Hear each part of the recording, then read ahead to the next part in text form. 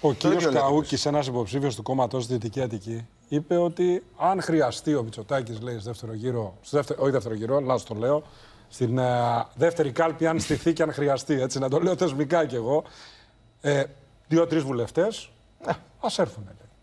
Α τους πάρουμε. Σας κατηγορεί ο κύριος Βελόπουλος ότι πάτε να τον αφαιμάξετε. Λοιπόν, να ξεκαθαρίσουμε Για αποστασία. Πρώτον. Και ο κύριος Τσίπρας το λέει. Πρώτον, επειδή οι εκλογές είναι η γιορτή της Δημοκρατίας και συμμετέχουν πολλοί υποψήφοι, κάποιοι μπορεί να μην έχουν την απαραίτητη ε, εμπειρία, μπορεί να λέγονται και πράγματα τα οποία δεν απηχούν την επίσημη θέση. Ε, να προσέχετε ποιος.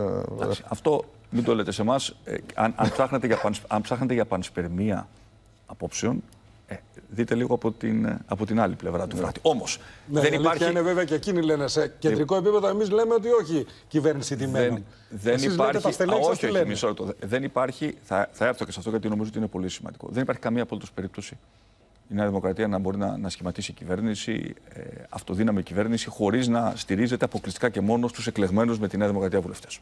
Θα σας απάντησα ευθέως.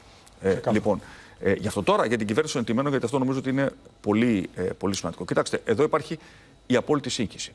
Προοδευτική κυβέρνηση, κυβέρνηση τιμένων, ε, κυβέρνηση ε, ανοχής. Ε, δεν ξέρω τώρα, ε, κυκλοφορούσε, δεν το υιοθετώ, δεν, δεν ξέρω αν ισχύει ότι συναντήθηκε ο κ. Βαρουφάκης με τον κύριο ε, Τσίπρα, αλλά και να μην είχαν συναντηθεί, κάλλιστα. Μα τώρα πιστεύετε ότι μπορεί να έχουν συναντηθεί; Δεν το ξέρω. Δεν το ξέρω. Εγώ το διάβασα. Λοιπόν, ναι, το γράφω, λοιπόν ναι. ε, ας απαντήσουν οι ίδιοι. Αλλά ε, έχουν δεν έχουν συναντηθεί, δεν υπάρχει καμία αμφιβολία ότι ο κύριος Τσίπρας έχει κάνει ανοιχτό κάλεσμα στον κύριο Βαρουφάκη. Ανοιχτό κάλεσμα. Άρα ο κύριος Τσίπρας συνειδητά καλεί σε προοδευτική συ, ε, συμπαράταξη τον άνθρωπο ο οποίος θέλει να αντικαταστήσει τα ευρώ σας με Δήμητρε. Ναι, αλλά λέει θα μου κοπεί το χέρι, λέει ο Βαρουφάκης. Δεν πάω. Ξέρετε, εγώ δεν πιστεύω. Τίποτα από αυτά τα οποία λέγονται προεκλογικά, εξάλλου και ο κύριος Τσίπρας μας έχει πει ότι έλα, μωρέ, προεκλογικά λέμε πράγματα, μετά τις εκλογές μπορούν να γίνουν διαφορετικά. Ένας τρόπος υπάρχει για να κλείσει κάθε χαραμάδα σε μια ενδεχόμενη κυβέρνηση ΣΥΡΙΖΑ, Βαρουφάκη, Πασόκ, με το Βαρουφάκη μέσα, γιατί το Βαρουφάκης χρειάζεται αριθμητικά, mm-hmm. ειδικά και αυτή θα είναι η κυβέρνηση των ετοιμένων. Επαναλαμβάνω. Δεύτερο, τρίτο, τέταρτο κόμμα. Λοιπόν, ένας τρόπος υπάρχει να είναι πολύ ισχυρή η Νέα Δημοκρατία στην κάλπη της 21η Μαου. Από, από εκεί και πέρα ε, θα ρωτήσετε ε, τα υπόλοιπα στελέχη του, ε, του ΣΥΡΙΖΑ. Ο κ. Φίλης βγήκε χθες και τα ξαναείπε. Δεν μιλάμε τώρα για για, για τυχαία στελέχη. Μιλάμε ότι όλα τα πρωτοκλασσάτα στελέχη του ΣΥΡΙΖΑ, τουλάχιστον αυτοί που εκφράζουν μια συγκεκριμένη άποψη, έρχονται και λένε ευθέως ότι και δεύτεροι να είμαστε, αν βγαίνουν τα κουκιά, εμείς πρέπει να κάνουμε κυβέρνηση. Άρα... Ε, και δεν πειράζει, και αν δεν είναι κυβέρνηση πλειοψηφίας, να είναι κυβέρνηση ανοχής. Άρα λέτε ότι είναι ένα σχέδιο επεξεργασμένο το οποίο θα πλασαριστεί στον ελληνικό λαό μετά το αποτέλεσμα των εκλογών; Το 2015 ο κ. Τσίπρας έκανε ένα δημοψήφισμα και μετά πήγε και έκανε το ακριβώ ανάποδο. Τον Αύγουστο έλεγε ότι δεν θα κάνει εκλογές και έκανε εκλογές. Δεν έχει ακριβώς, ε, ε, θα έλεγα, λευκό ε, μητρό αξιοπιστία σε αυτά τα οποία λέει. Δηλαδή, πιστεύετε ότι δεν έχει οριμάσει καθόλου ο, ο κύριος Τσίπρας σε σχέση με. Ήταν ένας νεαρός, ο οποίος ε, βγήκε σε ένα, ε, ας πούμε, με ένα, με ένα κύμα ας πούμε, οργής, διαφορετικής, αντιμνημονιακής. Έχει κάνει πρωθυπουργός όμως. Δεν πιστεύετε ότι έχει αλλάξει, ότι έχει οριμάσει. Όταν, ότι... όταν δεν ξέρεις τι να κάνεις, κάνεις αυτό που ξέρεις. Ο κύριος Τσίπρας αυτό ξέρει να το κάνει καλά να επενδύει στην ε, τοξικότητα, στην πόλωση, να τάζει πράγματα τα οποία και ο ίδιος φαντάζομαι ότι αντιλαμβάνεται ότι κινούνται στη σφαίρα της επιστημονικής φαντασίας. Όχι, δεν άλλαξε καθόλου. Και αυτό φαίνεται και από τα σπότ τα οποία έβγαλε ο ΣΥΡΙΖΑ. Παρουσιάζουν μια κατάμαυρη Ελλάδα. Μέχρι και αγκινάρε μαύρες είναι. Εγώ δεν έχω ξαναδεί μαύρες αγκινάρε. Ναι. Δεν ξέρω αν το έχετε δει έτσι. λοιπόν, μέχρι και αγκινάρε μαύρες είναι.